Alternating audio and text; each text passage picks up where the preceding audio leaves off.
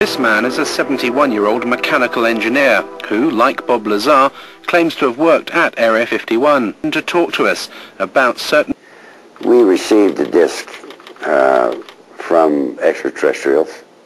This particular one that I had had to uh, to work on or did work on was from the Kingman crash, and that was later on taken to uh, a Nevada test site where, at the time, I didn't know.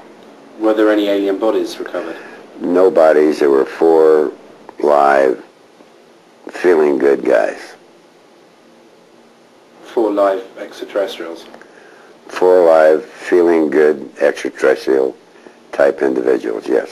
And where were those four extraterrestrials taken? Initially they were taken to New Mexico. And then several months later they were taken to the Nevada, Nevada site. One of the things I worked on was a, a flying disc simulator to train pilots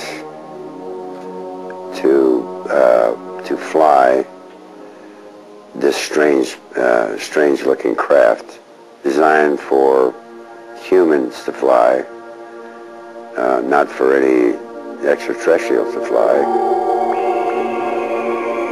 His most fantastical claim was that he worked at Area 51 with an alien codenamed J-Rod for 16 years on this simulator project.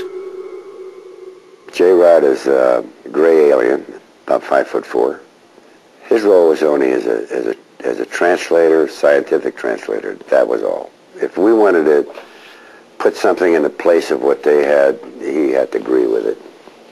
I would have a question, uh, you know, and, and I would bring it up in my mind on just how I wanted to present it with him. And he'd already know that I had this question, and he would already have the answer for me.